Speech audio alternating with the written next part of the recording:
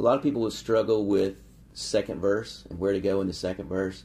But really, the most important place in your song to really make sure you get it right in a lot of cases is the first verse. The first verse's job is to give you characters, context, and setting.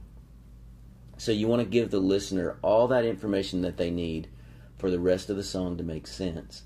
And you want to point toward your big idea that's going to come in the chorus.